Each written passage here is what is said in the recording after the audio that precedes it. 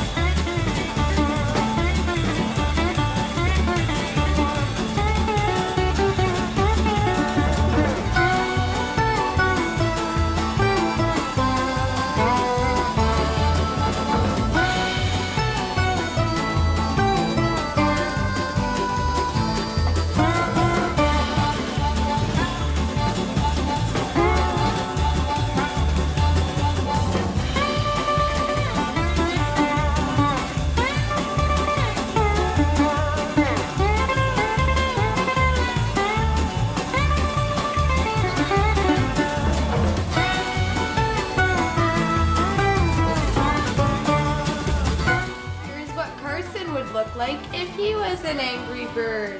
What would you look like if you were an angry bird? I will leave the link for this drawing in our description. So you can go and get it and draw your angry bird and tag us on Twitter so that we can see what you would look like if you were an angry bird. This here is what Mia would look like if she was an angry bird. And please comment if you know that. Don't forget to leave us a thumbs up if you liked our video and subscribe to our channel for more Kids Fun TV. We post videos every day. You wouldn't want to miss them. Thank you for watching my video. Leave us thumbs up and. Bye.